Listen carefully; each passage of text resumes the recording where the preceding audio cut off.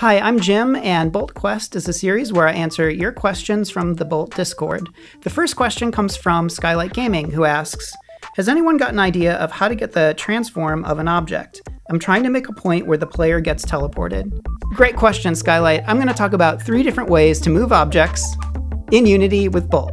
This is the final effect that we're going for if you want to follow along and download the package below, but you could use any project that you're working on. So I just have a flat white material on all these little buildings from Kyoto, and I made prefabs of the sun and the moon, and you can see that I have um, lights childed to each of those objects.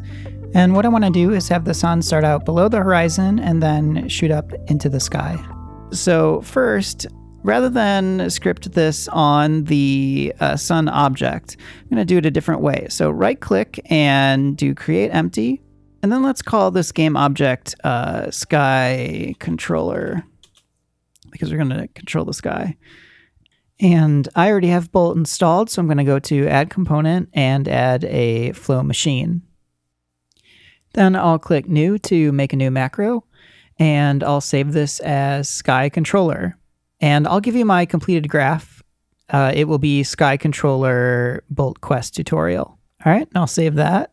Okay, so then I have the graphs here. In order for the sky controller to access the sun and the moon, we'll need to have uh, variables that reference to those game objects. And since I don't have the variables window here, I'm going to go up to window and get graph inspector and variables. And then I'll just dock those in the corner. So there's different variable choices, graph variables, which are just for this graph, like internal circuitry, object variables, if you had multiple graphs on this object wanting to know about the same things, and then scene variables, for example, like whether it's day or night is maybe something a lot of objects would want to know about. Object variables are visible in the inspector on the game object, and that's useful for movement scripts because you can drag any game object you want into that variable slot and be able to move it. So I'm going to start with making two variables, one for the sun, and I'll make it of type game object. And then I'll make another one, uh, moon, and also make that of type game object. And then I'll drag the sun and the moon game objects into both of those slots. The first way we'll do this is with a node called set position. So right click and type set position. And the one that we want is transform set position. Transform is referring to the transform component on the game object. So you can see that word transform is right there. Now, a word like transform might make you think of a transformation, like a werewolf. And if I threw you a banana, you wouldn't say that the banana transformed to you. But our objects are really just a bunch of data. And every time we scale something or rotate or move something, that original set of data is being transformed into a new set of data based on the directions we're giving it. So Unity and other programs have named this component for the mathematical stuff it's doing. And I've included a link below to a Khan Academy video on transformation and mathematics. Okay, so I'll connect up start, and then I'll grab the sun variable which automatically makes a get variable unit. And we want to connect that up to where it says self because self is the sky controller and we don't want to move the sky controller. We want to move the sun object. I'll put the sun below the horizon and I can see that it's at 50 on the Z. So for the set position, I'll put it at 25 where it was at. And uh, then I need to put 50 on the Z so it stays uh, at the same point on that Z axis. All right, I'll press play and you can see this work. So it automatically switches to the game view, and since this is happening immediately on start, we don't even get a chance to see the sun at the horizon. But if you look, you can see that it is at 25 and 50. Transform set position is doing something automatically for us. Um, Skylight Gaming's question was about getting the transform from a game object. So let me right click here and type get game object get transform in programming, this is what you need to do. So I'll connect up the game object. We get the transform from the game object, and then we set the position on the transform. So if I press play, you can see that this also works. But we don't need to do it because transform set position is getting the transform from the game object for us. So I'm going to show you quickly a scenario where you do need to get the transform from a game object. So on keyboard input, I'm going to once again set position, transform, set position, and then I'll connect that up and I'll put uh, the sun in the thing we want to move, and then the moon is where we want to move the sun to. Let's see if this works. Okay, you can see that we get an error message here cannot convert Unity Engine game object to Unity Engine Vector 3. Okay, so I'll stop the game and right click on the connection to sever it. And then we're going to drag out the connection and let go and type transform get position and get the transform get position unit. Now check out the slight difference between the icons. These two icons match their vector 3 icons, and that is a transform icon, which matches the transform icon right there. To get the moon's position, we have to go into the moon's transform. Then we can get that vector 3 and set the sun to it.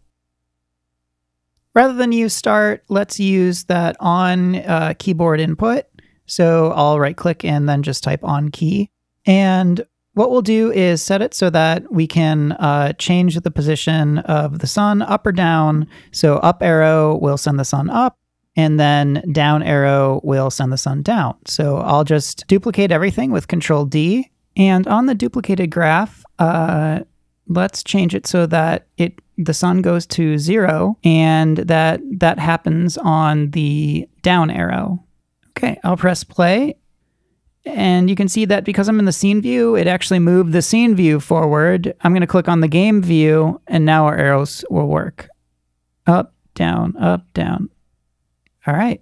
We can use set position for teleportation, or we can use it to move things gradually. I'll make some space here, and then let's get an add unit, uh, add unit for vector 3. And then we're also going to need to get the current position of the sun. I'll right click, add unit, and type get position, transform get position. And then I'll get the variable to the sun game object that's where we're getting the transform and the position from. So we're getting the position of the sun, and then we're going to add to it on the y-axis.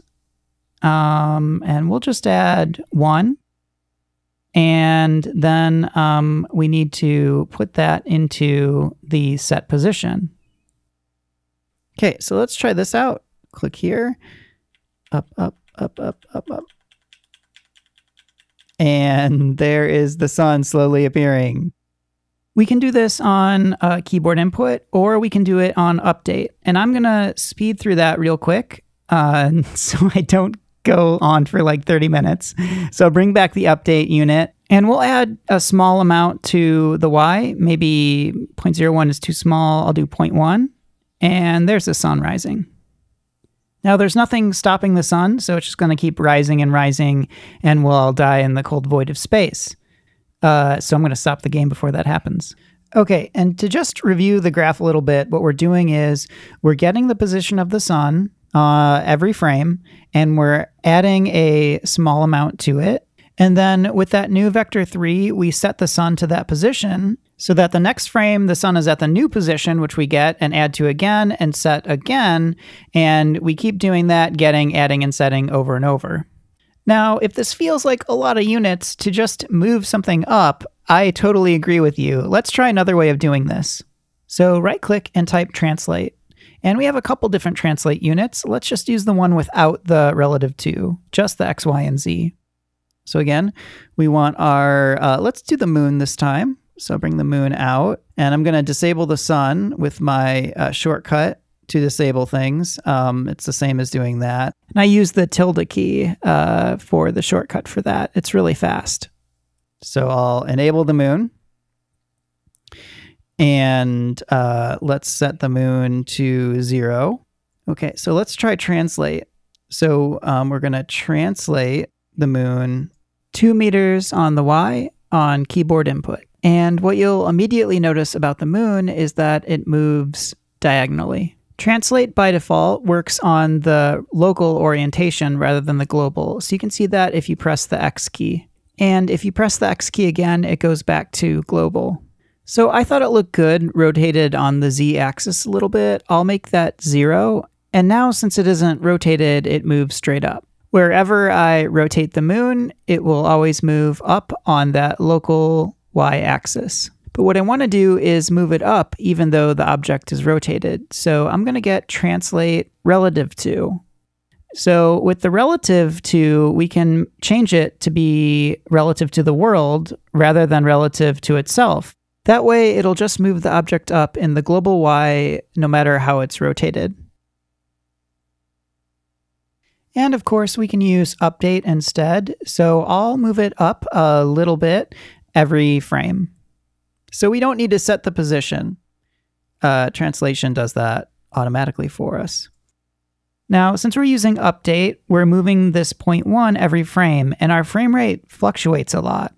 So in order to get the movement to be more consistent, let's get a per second node and that first one. And this way we can specify how far we want the sun to move every second, regardless of how fast or slow our frames per second is. So I'll make it be five. And if you've heard of time, delta time before, uh, that's what's going on under the hood. You can see that that number changes there, but the movement is consistent. And for the sake of time, I'm just going to cut in with a completed graph on how to set something up to where it stops uh, when the object is getting less than a uh, certain distance from uh, a target. So you can see we have a vector 3 distance node, and the distance is getting less and less and less. And then when it gets less than 1, the branch will flip to true, and nothing happens after true. So the branch and the less than or equal to is saying, Are we there yet? No, translate. Are we there yet? No, translate. Are we there yet? Oh, we're there. Okay, we're there. Don't translate anymore. True, nothing happens. Now there's a, a, cleaner way to do all this, so I'm going to delete all these units and then go to the asset store. I'll press shift and space to full screen the window and then search for DoTween. There's a pro version of DoTween and a free version. We're going to use the free version. I've already imported it, but I'll import it again. And you need to click uh, Setup DoTween, and then after this compilation process, click Apply. Then we need to tell Bolt about this DoTween package so that Bolt can generate the units. So go to Tools, Bolt, and Setup Wizard, and then click Next. I'm using human naming. Assemblies are libraries of code that we can use. So scroll to the bottom, and there there's a little plus sign. You can click it and type DoTween and then also add DoTween editor. And then next, types uh, or data types. So we've already used uh, data type vector3, for example. Uh, so at the bottom, add all of these uh, DoTween related data types. We won't be using all of them, but if you check the DoTween manual, these cover most of what I think you'd want to do. Uh, and in the next video, we'll be using tween parameters. Then click generate when you've added all those. I'll uh, Control D duplicate the on keyboard input and change the key to the up arrow. And then uh, once that's generated, all you need to do is type do move. And um, this is uh, DoTween stuff. So let's do do do move y. All right, so uh, I'm going to connect that up. It's uh, referencing itself, which we don't want. Let's do, um, let's go back to using the sun. So I'll plug the sun in because that's what we want to do move. And the end value is the y, so let's make it 25. And then the duration, let's do one second. And then rather than the set position and sun here, um, I'm going to do this again and I'm going to do a do move on the uh, so the duration one again, and then the end value will be let's send it below the horizon to negative 25. I'll press play. All right, let's try it. Up, down. Cool.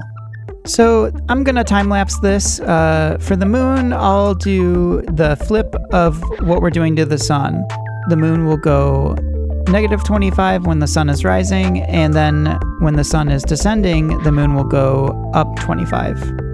Now, for the final cartoon effect, uh, I'm also changing the skybox, and the animation has a little bit of personality to it, and I'm going to cover that in the next video.